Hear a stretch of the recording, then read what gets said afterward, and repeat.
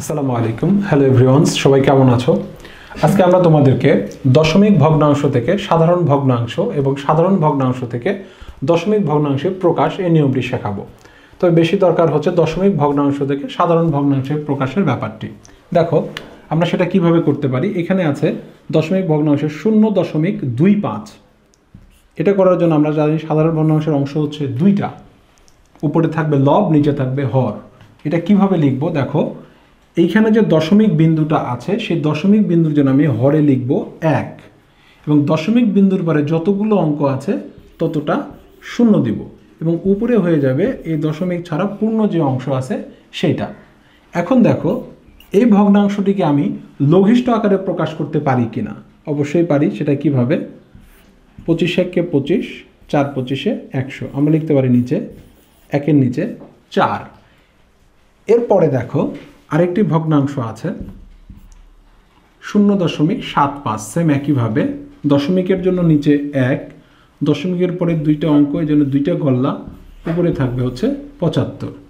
এবার আমরা এটাও একটু কাটাকাটি করতে পারি, কীভাবে দেখো, পঁচাত্তরকে যদি পঁচিশ দিয়ে কাটি, তিন পঁচিশে পঁচাত্তর, একে চার দিয়ে, পঁচিশ দিয়ে কাটলে চার পঁচিশে একশো। এটা লেখা যায় তিনের নিচে চার। এটা দেখো আছে শূন্য দশমিক শূন্য চার সেম একইভাবে দশমিকের জন্য নিচে এক, দুইটা অঙ্ক, দুইটা শূন্য। এরপরে দেখো এটা পূর্ণ সংখ্যা হয়ে যাবে শুধু চার, কারণ শূন্য চার লিখাও যায়, চার লিখাও যায়।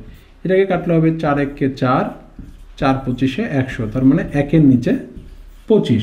আমরা এইভাবে খুব সহজেই দশমিক ভগ্নাংশকে সাধারণ ভগ্নাংশে প্রকাশ করতে পারি। আবার উল্টো, এই কাজটাই আমরা বলতে পারি, আমরা কীভাবে সাধারণ ভগ্নাংশ থেকে দশমিক ভগ্নাংশে যেতে পারি। আমরা এই উদাহরণটা দিয়েও দেখতে পারি, একটা নিয়ম আমরা সবসময় মনে রাখব, বেশিরভাগ ক্ষেত্রে খুব সহজ হয় দশমিক ভগ্নাংশে যখন আমি সাধারণ ভগ্নাংশকে প্রকাশ করব তখন সাধারণ ভগ্নাংশের হরে যেন দশ বা দশের ঘাত থাকে। মানে দশ অথবা একশো অথবা এক হাজার এরকম সংখ্যাগুলো থাকলে প্রকাশ করতে খুব সুবিধা হয়। কীভাবে? আসলেই কি এইটার সমান এটাতে যাওয়া যায়? এটারও একটা প্রমাণ কিন্তু এখানে আমাদের হয়ে যাবে। কীভাবে দেখো?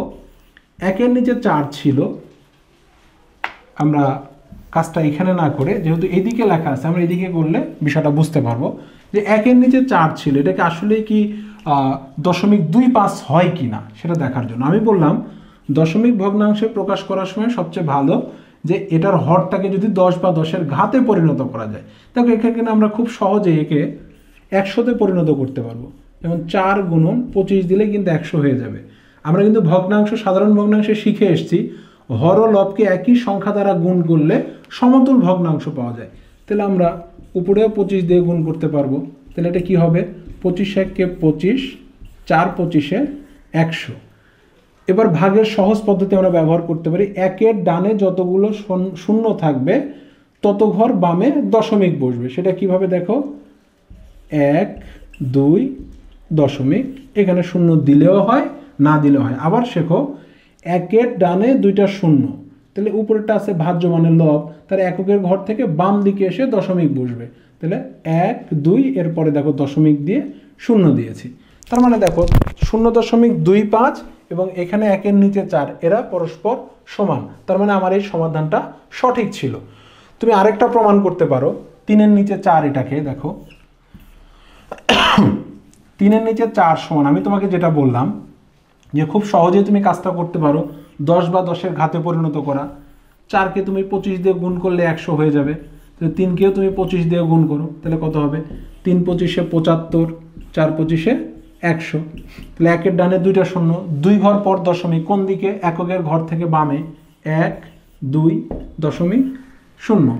তুমি কিন্তু প্রকাশ করতে পারো। আবার এটাকে আরেকভাবে অনেকে করে, যেটা কি করে? যে তিনের নিচে চার থাকল, সে যে কাজটা করে, এই চার দ্বারা তিনকে সে ভাগ করে।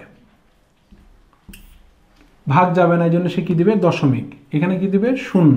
এবার ভাগ যাবে চার সাতটা আটাশ কত থাকল? দুই। দশমিকের জন্য একটা শূন্য, চার পাঁচা কুড়ি। সে এটা সমান এইভাবে লিখে দেয়, শূন্য দশমিক সাত পাঁচ। দুইটাই সঠিক। এইভাবেও করা যাবে, এইভাবেও করা যাবে। ঠিক এইভাবে দেখো, এখানেও তুমি আরেকটা অঙ্ক দেওয়া আছে। তুমি সেটার সমাধান করতে পারো। সেটার জন্য আমাদেরকে যে কাজটা করতে হবে, দেখো। এখানে পঁচিশ। তুমি যে কাজ করতে পারো, তুমি দশের ঘাতে সহজেই পরিণত করতে পারবে। চার দিয়ে গুণ করো। নিচে চার দিয়ে গুণ করলে উপরে চার দিয়ে গুণ হবে। তাহলে হবে ষোলো, তার নিচে একশো। তাহলে কয় ঘর পর দশমিক?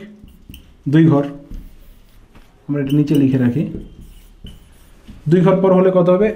এক, দুই, এরপরে শূন্য। এটা দেখো, দশের ঘাতে পরিণত করা যাচ্ছে না। তোমরা সাধারণত যেভাবে করো, সেভাবে করতে পারবে। এখানে লিখে আট দ্বারা সাতকে ভাগ করো।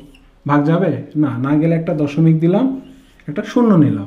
এখানে একটা শূন্য দিলেও হবে, না দিলেও হবে। এবার যাবে দেখো, আট আটা চৌষট্টি। কত থাকে? ছয়। দশমিকের জন্য অটোমেটিক্যালি একটা শূন্য। তার মানে কত হবে এবার? সাত আটা ছাপ্পান্ন। নামবে চার। দশমিকের জন্য অটোমেটিক্যালি শূন্য। পাঁচ, আটা, চল্লিশ।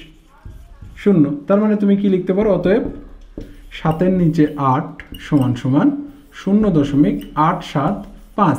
ঠিক তুমি একে উল্টেও কিন্তু আবার তুমি এটাতে ফেরত আনতে পারবে। এইভাবে তুমি সহজেই দশমিক ভগ্নাংশ থেকে সাধারণ ভগ্নাংশ এবং সাধারণ ভগ্নাংশ থেকে দশমিক ভগ্নাংশে প্রকাশ করতে পারবে।